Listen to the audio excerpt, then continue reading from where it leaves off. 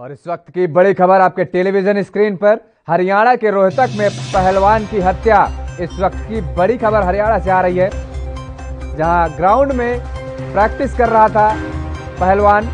हरियाणा से इस वक्त की बड़ी खबर आपके टेलीविज़न स्क्रीन पर, दो लोगों ने अंधाधुंध फायरिंग की। तो इस वक्त की बड़ी खबर हरियाणा से और पहलवान की मौके पर ही मौत हो गई। प्रैक्टिस कर रहा था पहलवान और उस दौरान अंधाधुंध फायरिंग की गई। जिसमें इस पहलवान की मौत हो गई। घटना पर पुलिस पहुँची है। छानबीन में अब जुटी जुटी हुई है। तो दो लोगों ने अंधाधुंध फायरिंग की, जिसके बाद इस पहलवान की हत्या हो गई है। और हरियाणा के रोहतक में पहलवान की हत्या हुई है।